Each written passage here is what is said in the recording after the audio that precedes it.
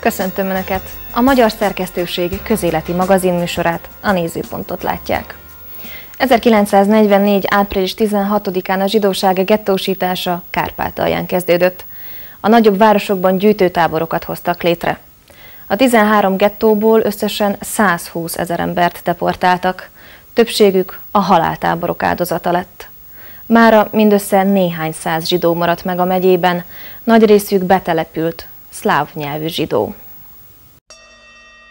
Az 1939-es népszámlálás adatai szerint Kárpátalján 120 ezer zsidó élt, valamennyiüket a német koncentrációs táborokba hurcolták. Ungváron két gettó működött, a nagyobbik az egykori téglagyár helyén, amelyet ma emlékoszlop jelez. A haláltáborok túlélői közül mára mindössze nyolcan maradtak Kárpátalján, az egyikük Neubauer Ignác bácsi, aki 90 éves, őt Auschwitzba vitték, csodával határos módon menekült meg. Auschwitzból én kerültem egy néhány lágerba. Van nekem dokumentek, amit megkaptam. És ez, amit én magának mondtam, hogy valahogy élve maradtunk, ez már a háború vége fel. A, már végződött a háború. Ez volt, úgyhogy Auschwitz után én voltam Gleiwitz, az Auschwitz-tól 80 kilométer, az is egy nagyon nagy láger. Lág, ott Auschwitzban minket bevagoníroztak, még, még kimentünk három testvérek.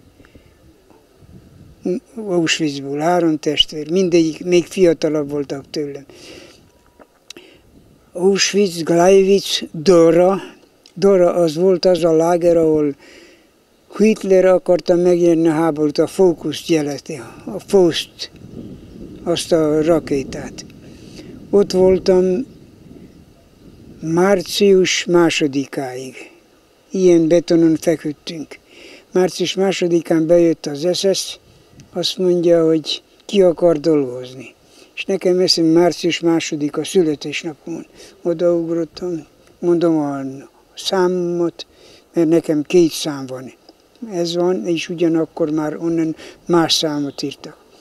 Kiválasztott minket 40 embert, akkor elvittek minket onnan megint egy másik lágerba, másik lágerba ott voltunk, ez volt egy faluba, Makaródi, ott volt 400 ember. 400 ember ott volt, és ott voltunk mink április 6-7 ezekbe a napokban. És akkor egy nap az amerikai repülőgépek leszálltak olyan alacsonyra, hogy alacsonyabb volt, mint a kerítés. És akkor besora, felsorakoztak minket, és mentünk tovább. Mert ebből a Makaródi lágerból minden nap mentünk 8 kilométer gyalog a munkába is vissza. Itt voltunk 400 ember. Ebben a középső lágerben szintén 400 ember. És onnan elvittek minket Vidára. Az volt, ez a Vida volt a főláger ezeknek a három lágernek vagy három napig voltunk ebben a lágerben, ott volt egy láger, az ágyak, úgy, mint a nyulaknak. Éjjel bebújtak, mert az udvaron nem engedtek, úgyhogy éjjel összedültek az ágyak, voltak halottok, két vagy három nap múlva megint sorakozó, és megyünk. Megyünk, és a kapunál látom, két cigarettát osztan, adnak. Az ilyen még nem volt. Hát ez egy nagy, nagy dolog volt, azért lehetett két nap a porció kenyeret odaadni, adták oda szívesen. Úgyhogy én láttam, hogy nincs cigaretta, mondom, és így úgy mentek kifele, én fogtam magam, és visszafordultam, mert vette, kivették a gyenge embereket. Engem még nem voltam azok, azt engem kivették, és én fogtam magam, így, hogy onnan visszafordultam, és mentem oda. A, az SS, pufon vágott, szájon vágott, hogy kerülsz ide? Meg, és én utána bötett vissza, én meg utána megint is elmentem oda, és mondom, én már úgy sem akarok soha semmit élni, már egyedül voltam, és mondom, nem akarok, és ott maradtam. Úgyhogy ott maradtam ebbe a lágerba, és azok, akik mentek ki, azok elmentek. Mink ott voltunk egy, egy ahogy ők elmentek, akkor nekünk kellett takarítani, meg, meg azt mondják főzetek, takar, mindenki legyen elfoglalva. Ott mink akkor maradtunk vagy 200 ember. Ott maradtunk 200 ember, hozzá azt mondják, főzetek van, mind kaja, minden a raktár tele van, és azok elmentek, mink ott, maradtunk. Egy, vagy három-négy órán belül sorakozó. Sorakozó, mink is megyünk. Kimentünk, vittek minket ki egy állomásra, keskenyvágányú vonatra, és beültettek minket a, a vagonokba. Ott voltunk abban a vagonokba, négy vagy öt napig. Nem nyitották ki, de láttuk, hogy egy lágerba vagyunk. Akkor azok megjöttek, akik gyalog jöttek, akkor kinyitották nekünk a, láger, a vagonokat.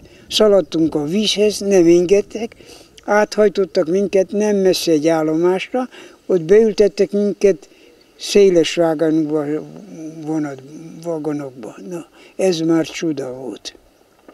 Lehetett ülni, lehetett feküdni, ez, a csodás napok voltak, olyan csodás napok, hogy, hogy az, az minden, meg, mentett meg sok embert. És kivittek minket az erdőbe. Ott kivittek az erdőbe, és ott, ott, ott lövöldöztek le minket ketten maradtunk életbe.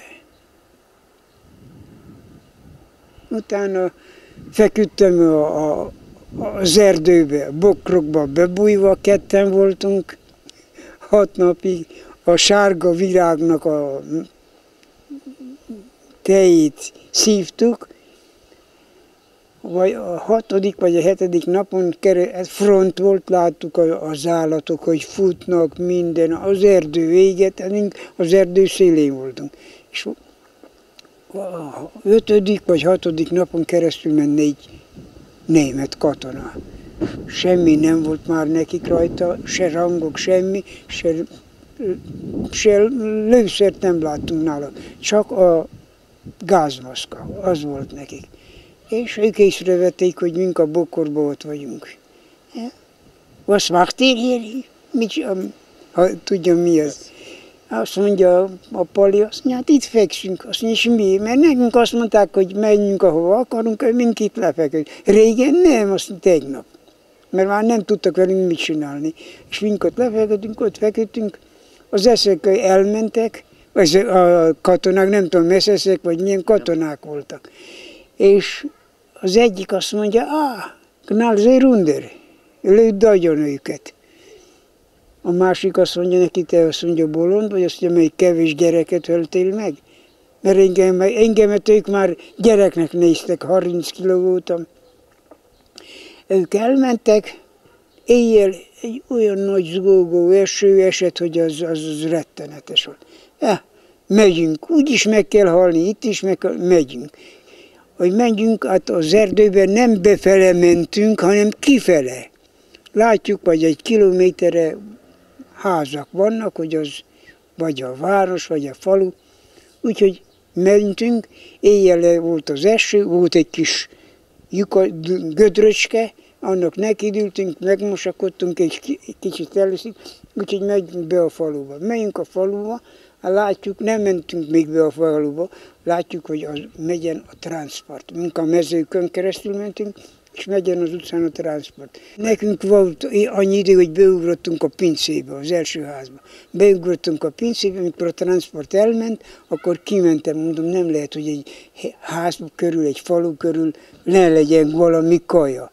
Én körüljártam, nincs sehol sem, le volt, le volt bombázva az egész falu. És akkor egy, egy Willis körülforgott előttem, és ott hagyott. Jövök be a pincébe, mondom a, a társamnak, mondom, itt vannak az oroszok. Mert a csillagok, minden, tudtam, hogy az a, a vörös, vör, ez a, nem tudtam, hogy a fehér csillag is amerikai, és az orosz, mert tudtuk, hogy vörös. Bemegyek, Mondom neki, itt vannak az oroszok. Azt mondja, te bolond vagy, azt mondja, te megbolondultál. Azt mondja, itt nem lehetnek az oroszok, mink az amerikai fronton vagyunk. Halpert Tildát 21 évesen munkácsról hurcolták el Auschwitzba, azonnal elválasztották édesanyjától, akit soha nem látott többé. Mondtam anyukámnak, na hát majd találkozunk, és megcsókoltam, és elmentem jobbra. És a fiatalokat elvitték külön, ottan bennünket lenyirabáltak, levágták a hajunkat, úgynevezett megfürdés volt, kaptunk valami régi szafatokat felvenni, és ott voltunk három hónapig, amíg el nem jött egy olyan lehetőség, hogy kivezényeltek bennünket az udvarra, és 150 embert, nőket elválasztottak a többitől, és elvittek egy olyan lágerbe, ahol már nem volt se krematórium, se semmi olyan valami, ami, amivel lepusztítottak, hanem dolgozni kellett.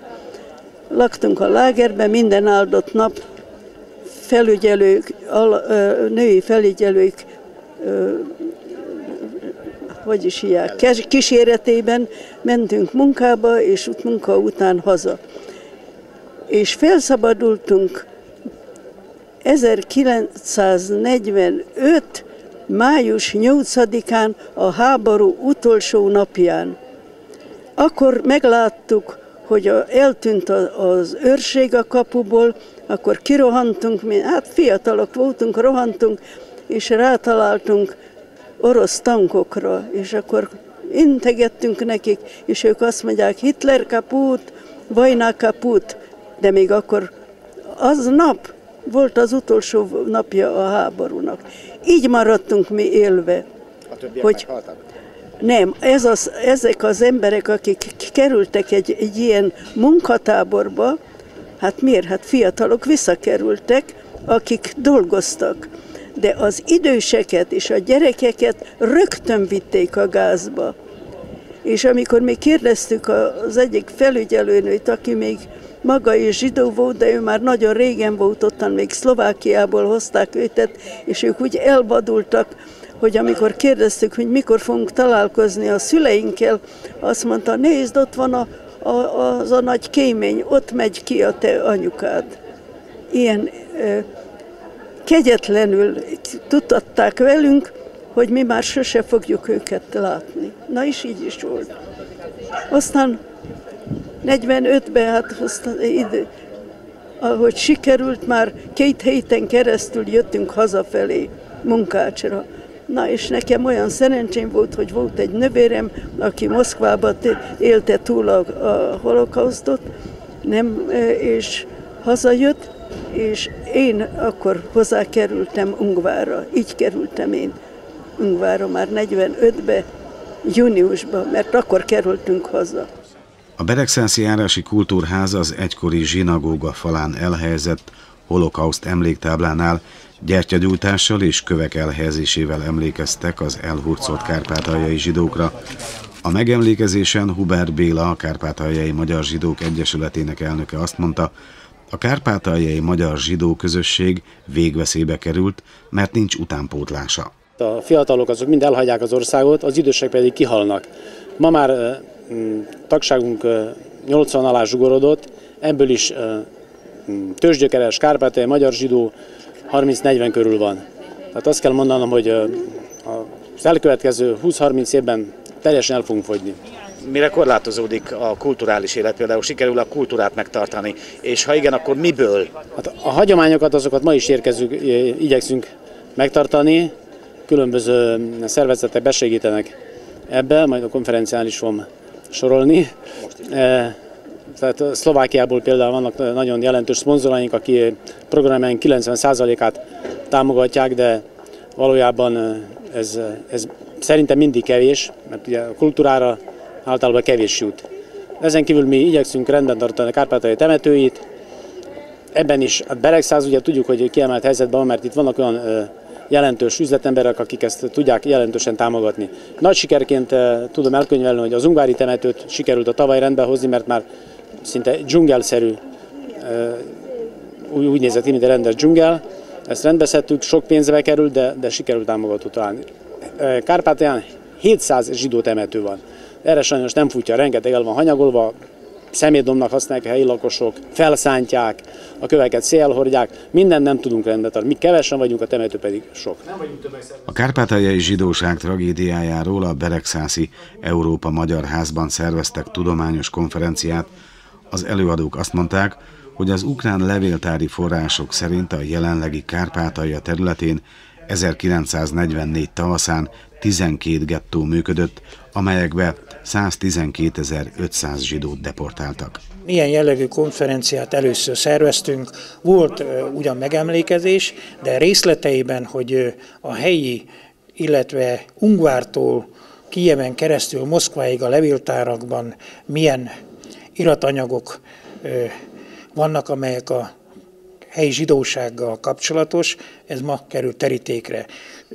Öt kérdéscsoportban foglalkoztunk ezzel. Az első kérdéscsoport az, amikor megjelent a különböző hivatalos hírközlésekben Németországban, Magyarországon és más országokban az, hogy elindult a zsidó üldözés, akkor a nyugati világban egy nagy menekült hullám indult el, és hát sem Amerika, sem Anglia nem volt hajlandó a kvótán változtatni, és ezért a szovjet propagandának bedőlve az úgynevezett partizán propagandának nagyon sok zsidó elindult a Szovjetunió felé, gondolták, tártkarokkal fogadják őket. Sajnos nem ez történt, tehát a nácizmus elől menekülők a sztálini lágerekben kötöttek ki, akiket három évtől tíz 20, sőt egyeseket nagyon is lőttek, és német kémeknek, magyar kémeknek nyilvánították. A második kérdéskör pedig az volt, akik 41-ben a hontalanokat gyűjtötték össze, és Körösmezőn Rahon keresztül átadták a német hatóságnak, ahol Kamenyeszpodolszba mintegy 23 ezer zsidót géppuskáztak le. Ezeknek a kivégzésében sajnos Részt vettek az ukrán UNO-UNSZO, tehát szélsőséges nacionalista csoportok is. Mikor történtek ezek a dolgok? Hányban? Hát ez, ezek a dolgok 40, 41, 42 körül történtek, és hát ennek az irodalma, archívanyaga is megtalálható tulajdonképpen a kievai moszkvai levéltárakban. A harmadik kérdéskör pedig a deportálás.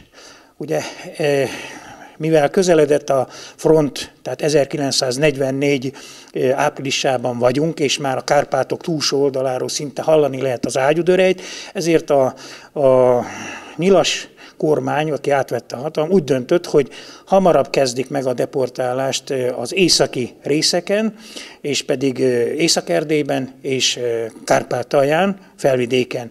Így november aláírták a határozatot, hamarabb Kezdődött el a gettósítás, mint hivatalosan megjelent volna a közlöny, tehát április 16-án hajnali 5-kor a csendőrök, rendőrök, gestapótisztek lepték el a településeket, és kijelölt gettókba szállították az embereket, ahol 5-10-14 nap összegyűjtés után folyamatosan transportokba szállították Auschwitzba.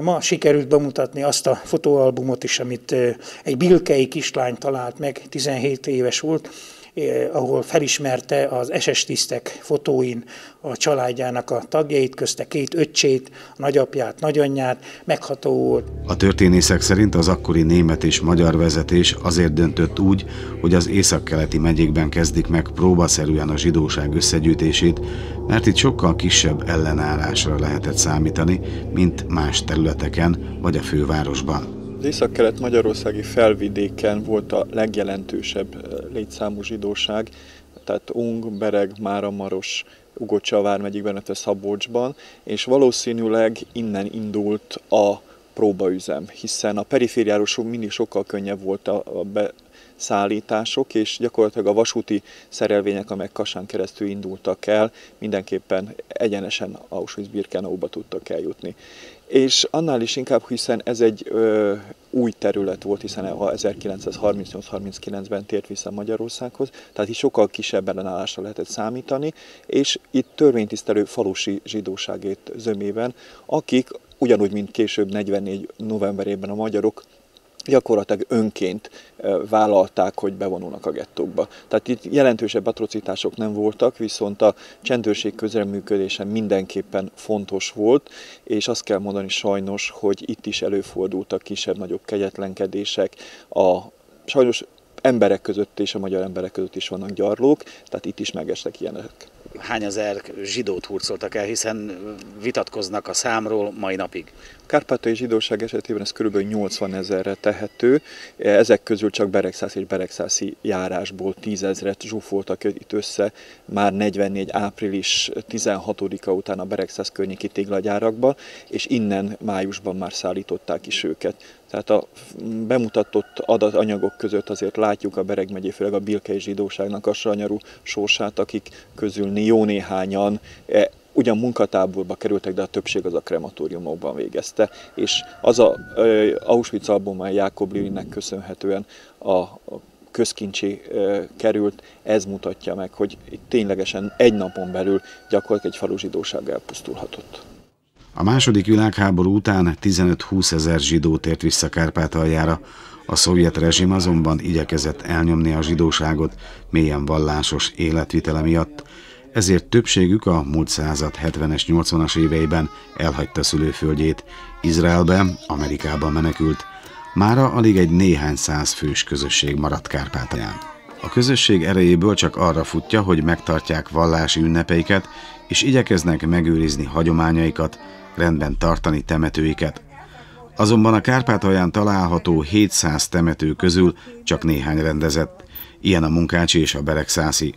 Utóbbit egy nemzetközi programnak köszönhetően hozták példásrendbe, nem mondható ez a legnagyobb, több mint 300 éves ungvári temetőről, ahol 8000 sír található. A tavalyi év során sikerült támogató találni a temető rendbetételére, mert ugyanis az utóbbi időben szinte dzsungelszerű állapotok uralkodtak itt, vadkacsák fészkeltek, meg vadállatok kezdtek itt majd gyülekezni, másfél méteres bozót volt rendesen itt, tehát még egyszer mondom, sikerült támogatókat találni, közöttük van olyan, aki a nevét sem adja hozzá, tehát inkognitó támogatja, és a tavalyi év során sikerült, amit látjuk itt teljesen kitisztítani a, a bozótot, ma már újra lehetne kaszálni erre új, újra keresünk, keresünk támogatót. Sikerült -e rendbehozni a sírokat, amelyeket ledöntöttek néhány évvel ezelőtt? Több mint száz, a temető túlsó végében több mint 150-60 év, tehát háború előtti monumentális gránit márvány sírköveket állítottunk helyre. Itt sok munka van még, mert rengeteg sír, sírkő, amit felújítani kellene, újra felemelni, kiásni. Ugye ez egy több mint 300 éves temető. A, a, a régebbi része az, az nagyon tönkre van, mert a helyi kőből volt faragva, még nem, nem gránitból, nem eh, márványból, hanem a helyi hegyekből szállították ide a köveket, és azokat, azokat eh, megette az idővasfoga, azokat fel kellene újítani. Az ungár zsidó temető Kárpátán a legnagyobb és azt hiszem legöregebb zsidó temető. Több mint 300 évre nyúl vissza a története, és 8000 síron több van itt, 8, több, több mint 8000 kő van a temetőben. Máshol például Beregszáz? A Beregszázi, a Beregszázi temetőben 5000, az már át van fényképezve teljesen, fent lesz az interneten, minden sírkő le van fotózva, le van fordítva angolra a felirat, és már meg lehet találni az interneten. Mint mondtam a konferencián, egy amerikai barátunk, aki ennek szenteli minden nyarát, eljön, és Kárpátia minden temetőjét végigjárja, átfotózza és felteszi az internetre websájtokat épít minden településnek. Lehet arra számítani, hogy ez itt Ungváron is megtörténik, vagy Munkácson? A munkácsi temető az már készen van, az ugye tudjuk, hogy rendben van, mert ott van egy állandó támogató, aki rendben tartatja a temetőt. Itt sajnos nem ez a helyzet, de a, visszatérve az előbbi dologra, hogy át fogjuk fotózni, hogy megőrizzük az előendő nemzedéknek a régi feliratokat és a sírköveket. A fele már át van fotózva, és még a másik fele a mai május-júniusban fogjuk tovább csinálni. Emléktáblát avattak a kárpátaljai zsidók elhurcolásának 70. évfordulója alkalmából a nagyszülősi járási Tiszabökényben. A rendezvény a Magyar Holokauszt emlékév része volt, a tábla elkészítését a magyar miniszterelnökség finanszírozta, felállítását a magyar értelmiségiek kárpátaljai közössége kezdeményezte. A szervezet elnöke Dubka György a megemlékezésen tartott beszédében azt mondta, Kárpátalja 130 magyar lakta településén eddig nem volt holokauszt emlékmű, a Tiszabökényi az első. A táblán 72 név található, a tényleges áldozatok száma azonban több. 94 zsidót tartottak nyilván, és az utóbbi kutatás, hát ez még tegnap fejeződött be, még újabb 22 név került elő, viszont ezek már nem tudtuk felvisni a táblára, ezért a szervező bizottság úgy döntött, hogy még a hónap folyamán, ugye hiszen a deportálás április 16-ától kezdődött, és július végén fejeződött be, úgyhogy ez alatt az idő alatt a kiegészítő neveket is feltesszük. Ez az emlékmű a 130 magyar lakta település esetében ez az első, ahol nevesítve kerültek föl a nevek, amelyeket a levéltári kutatások alapján állítottunk össze. A kárpátaljai zsidó vezetők azt mondják, hogy a közösség sorsa nagyon bizonytalan. A fiatalok külföldre mennek, és utánpótlás nélkül nagyon valószínű, hogy két-három évtized múlva már nem lesz zsidó közösség Kárpátalján. Kárpátalján.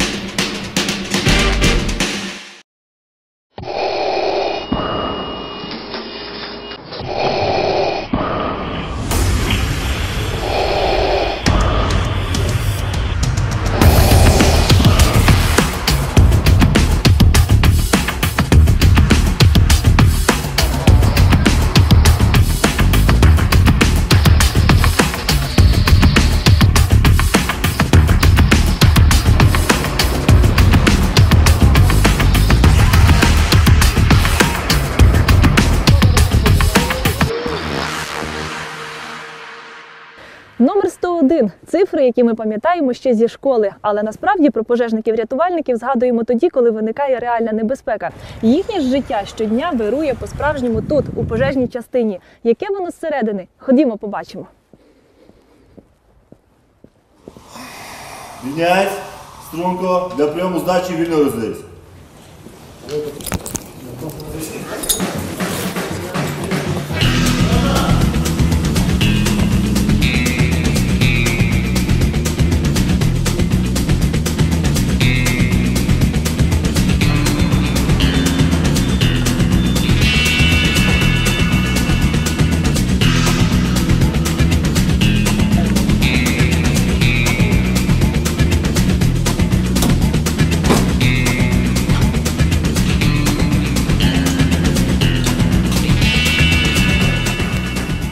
Заводимо автомобіль, перевіряємо всі світлові комунікації. Світло перевіряємо. Сирену перевіряємо.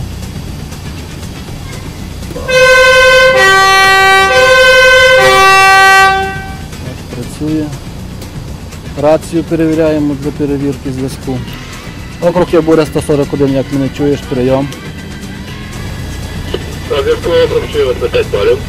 Перевірка зв'язку. Вас зрозумів. У нас розташований насос. Перевіряємо перевірка води у цистерні. Датчик нам показує, що насос справний він готовий до роботи. Все, автомобіль у нас перевірений. Мастило в нормі, насос працює, що автомобіль готовий до бойового розрахунку.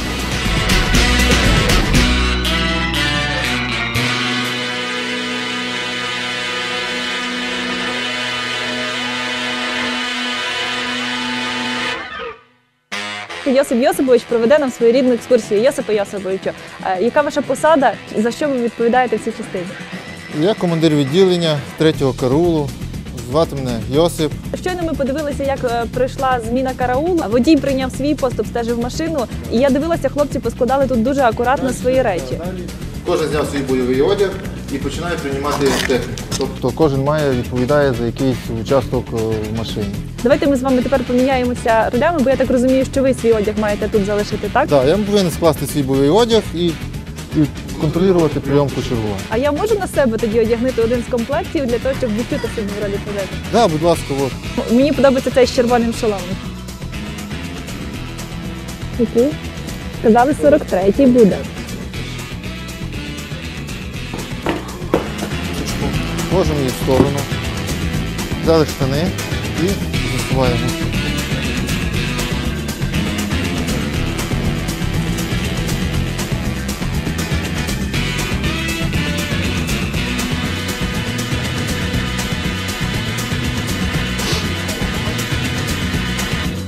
Бачите, як удобно воно сложено, що застібаємося. Великий замок. Це мій ремінь, так? Ой, який він важкий. О! І далі з ним? Угу. Угу. Це мало би бути у вас теж за- застібнути, наприклад. Скільки важить це, що я зараз на себе одягнула? Приблизно з взуттям буде ну, 5 кілограмів, 6 Ой. максимум. О, І з касочкою. каска. І касочку. От Шапку я зніму, бо мені неудобно. Шапку. Дзеркало, дзеркало, дзеркало. Отак. О. Одягаємо. І знизу обов'язково застібаємо Угу. на застежечку. Ціла варта підготовила собі отакі от. Це ви собі Да, спеціально ми для спе- себе самі зробили? спеціально лиш- Ліхтарики. ліхтарики для, для того, щоб тушити пожежу. Якщо я буду мати ліхтар в руках, вже м, сковані руки і не можна. А так воно мені не заважає. Куди я головою кручу, туди воно світить. Шановні дизайнери спеціального одягу для професіоналів, врахуйте їхні побажання, коли будете створювати нові моделі касок для пожежників. Отаке нововведення буде доречне і допоможе в роботі. До пожежі готово. Коли приїхали на пожежу, ми починаємо. з- Це після команди вже начальника варти або керівника гасіння пожежі. А тоді сюди вже приєднуються інші. Під'єднуюся, да, вже от, от ми от зафіксуємо. Це один із напрямків буде гасіння, на гасіння пожежі. Можна я візьму? Ого. А це ж під тиском води його треба тримати? Ну так. Да. Сюди Важко? до 10 атмосфер води, ну ну, це вже багато. 2-3 атмосфери, 4 на гасіння пожежі достатньо. Угу. Наскільки вистачає однієї машини? Тут ми маємо е, 2 тони води, виїзд на 2 тони води. І нам вистачить на так, десь на, на 20 хвилин вистачає. Ну, є біля кожного будинка у нас стаціонарні гідранти. І ми можемо, якщо то недалеко, стаціонарно, автомобіль, де стояв, там і стоїть, і підтягувати, в общем, і того гідранта підключитися автомобіль, і буде стаціонарно постійно безперебойна подача води. Це автомобіль для тушіння пожежі і для аварійно, аварійно-спасательних робіт. Тобто при аваріях у нас є от така от ножниці такі. Вони досить важкі. Ну, і вони роздвигаємо і можемо різати будь-який ну, метал. Тобто любі конструкції. Прошу. Це якщо треба кудись пройти і є перешкода? Ну, якщо є перешкода, або треба допомогти от, виняти людину із автомобіля, а ми її не можемо, її в нас зажата. Нею можна розрізати і розжимати цим от на розжим. Вже треба бути сильним, щоб цим керувати, да? чи воно механічне? Спробуйте. Треба було держати от, вправо-вліво. Ага, це, це навіть жінка може зробити. Да.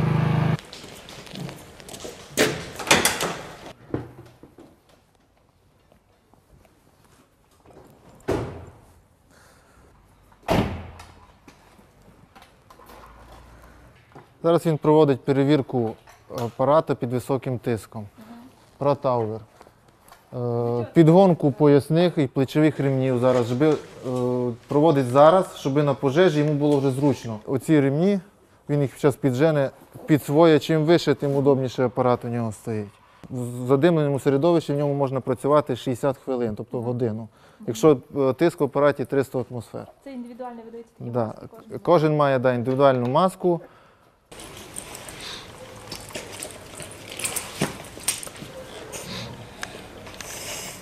Робить два-три вдоха для того перевірити, що воно Працює. працює і нема по збоку ніяких, е, не заходить воздух, не, щоб воздух не, не виходив і не поступав сюди.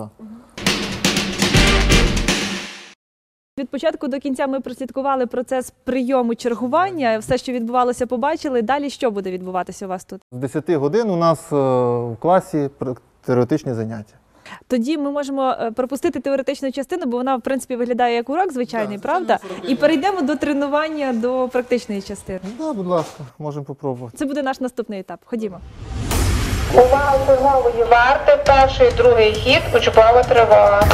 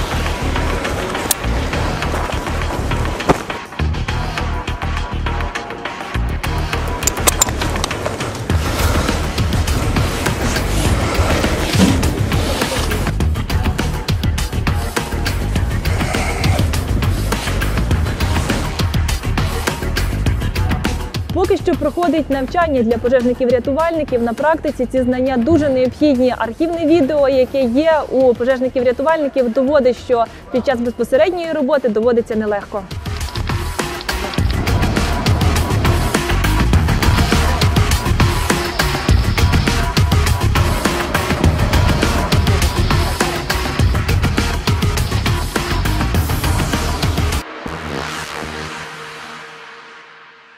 Хто може бути пожежником? Ну, в першу чергу людина, яка фізично е, і психологічно настроєна для того, щоб допомагати людям. А в другу чергу треба мати бажання і вже якщо ти прийшов сюди працювати, то старатися так, щоб можна було обратно вже допомогти людям, бо в першу чергу ми що допомагаємо людям і, і в другу чергу вже їхнє майно спасаємо. Скільки зазвичай е, допускають до роботи пожежників? Є якийсь ліміт, скільки можна працювати? По, коли я прийшов, йшов сюди працювати з 98-му році, то було, що вислуга мала бути 20 років стажу із армією. Тобто я міг уї- у 38 років бути вже на пенсії. А на даний момент нам е, додали вже 25 років вислуги.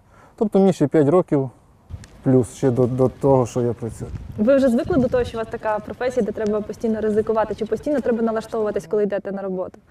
С- Саме більше це налаштування до цього всього, цієї професії дає сім'я. Сьогоднішній випуск програми нам було відносно неважко знімати, тому що весь час, поки знаходилася тут знімальна група, не сталося жодної пожежі, і хлопці могли спокійно нам показати, як проходить їхній звичний робочий день із тренуваннями і іншими складовими. Але якщо раптом щось, команда із 101 обов'язково прийде вам на допомогу.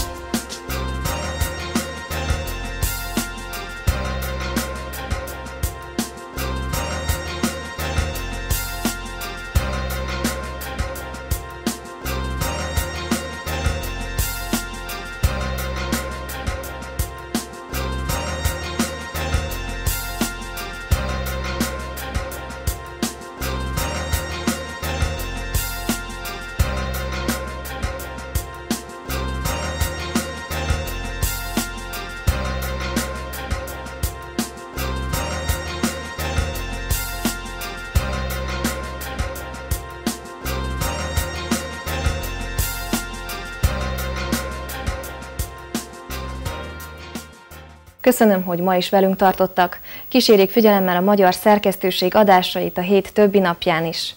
Ne feledjék, ha lemaradtak volna adásainkról, visszanézhetik azokat a képernyő alján látható weboldalon. Legyen szép napjuk, viszontlátásra!